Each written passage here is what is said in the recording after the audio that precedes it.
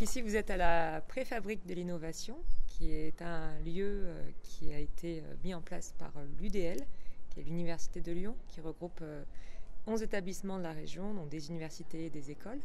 Donc l'objectif de la préfabrique de l'innovation, donc c'est de préfigurer des fabriques de l'innovation qui vont exister à Lyon et, à Saint-Étienne.